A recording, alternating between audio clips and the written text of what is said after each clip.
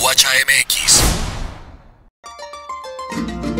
Los veracruzanos tienen una forma muy peculiar de hablar, así como también para nombrar ciertas comidas y bebidas de la ciudad.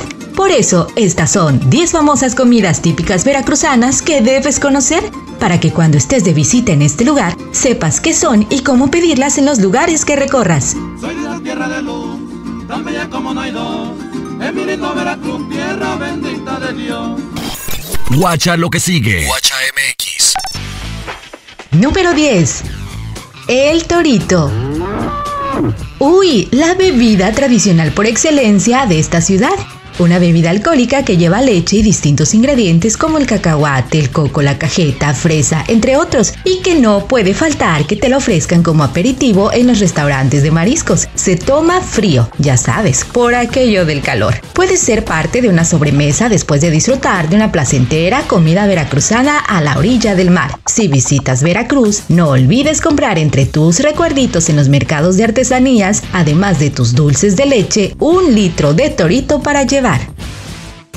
Número 9. Los pambazos. Uf, los pambazos, muy famosos pero al estilo veracruzano. Y es que la forma de prepararlos tiene su origen en Orizaba, Veracruz, y fue creado en honor a la emperatriz Carlota, esposa de Maximiliano de Habsburgo, por un cocinero que se inspiró en las formas del volcán del Pico de Orizaba. Este delicioso bizcocho se prepara con un pan redondo, esponjado, muy suave, y en su superficie lleva harina. Sí, harina. Se les unta mayonesa y van rellenos con frijoles refritos con chorizo, queso blanco, lechuga picada y chile chipotle. Recuerda bien su receta para que cuando pruebes un pambazo no te confundas con los que has probado en otras ciudades. Número 8. Los bocoles. Siguiendo con esta lista de sabores veracruzanos, no podían faltar los bocoles, que son unas tortillitas gruesas de masa mezclada con manteca de puerco, de forma circular y que se parten por la mitad para hacer rellenos de diferentes guisos. En algunos otros lugares de México se conocen como gorditas. Los bocoles forman parte de la gastronomía de la zona huasteca. Por eso, la región en donde más podrás encontrar este platillo es en la zona norte del estado de Veracruz. Ahora, ya sabes que en tu recorrido por estas tierras tienes que pasar a comerte unos bocoles.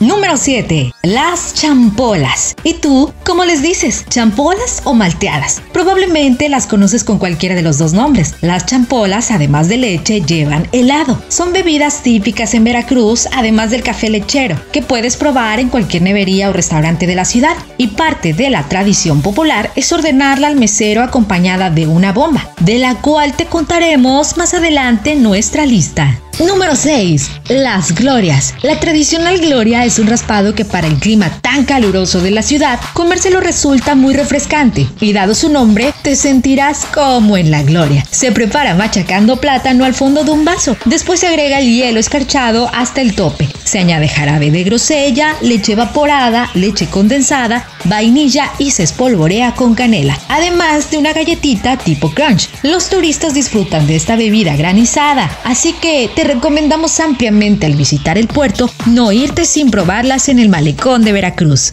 Número 5. Las picadas. Si de desayunos veracruzanos quieres conocer, las picadas debes comer. Y es que no es otra cosa que una tortilla con bordes alrededor y que seguro ya conoces también como pellizcadas o sopes. Y van preparadas con los mismos ingredientes, salsa, cebolla, queso y si lo prefieres también con algún guiso como chicharrón, pollo o bistec. Pero cuando la gente visita Veracruz y no prueba estos antojitos, dicen que te perdiste de algo muy bueno. Así que recuerda, cuando estés de paso por Veracruz, no olvides pedir para desayunar las famosas picadas. Número 4. Las gorditas de dulce. En un típico desayuno veracruzano ya mencionamos que no pueden faltar las picadas y casi siempre van acompañadas de las gorditas de dulce, que es una mezcla de masa, anís y piloncillo, la cual se fríe en aceite bien caliente para que queden muy infladitas. Esto es una delicia, le puedes agregar mole y queso y después, ¡pum!, a comerse a bicho. Número 3. El platillo volador. Pero, ¿acaso se trata de algún alimento extraño traído de otro planeta? Pues no,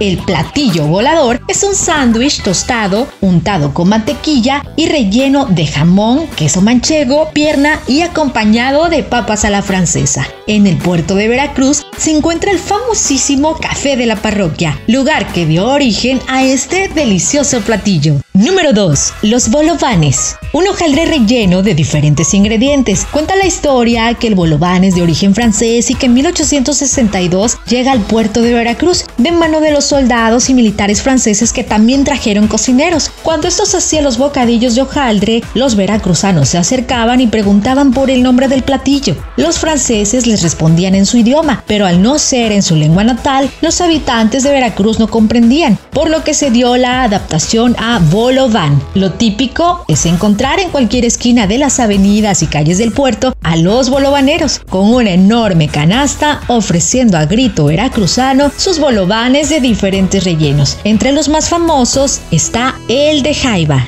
Número 1. La bomba. La bomba.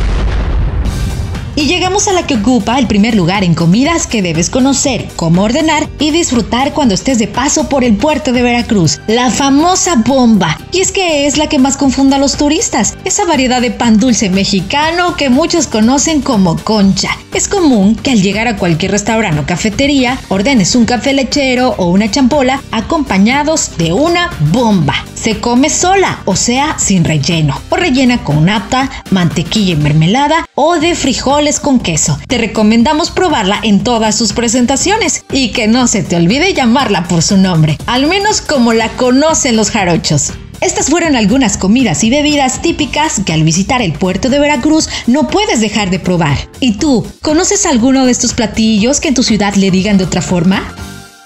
Déjanos tus comentarios, nos encanta saber tu opinión. Si te gustó este video, dale like y compártelo con todos tus amigos. Suscríbete a nuestro canal y síguenos en redes sociales. Nos encuentras como Guacha MX Oficial. Yo soy Diana y nos guachamos en el próximo video.